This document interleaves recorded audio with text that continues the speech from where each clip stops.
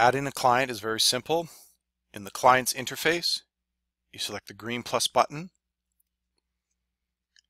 You will add the client name, client ID, which can be any ID that you assign, a phone number, an email, which is very important, position, and select the accounting software that you're going to use.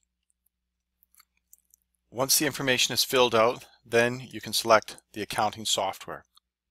It is very important to have an email in case you want your client to be able to log in to see what you're doing. After everything is filled out, you select your software and the version, you select next. In the pricing, if you've already been on the data automation software, you're going to select the single user.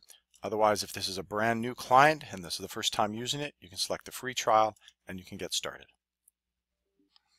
Once you've added your client to the data automation software, you can upload files either manually through the folders, and of course, you will need to be able to sync your database to our Data UI software.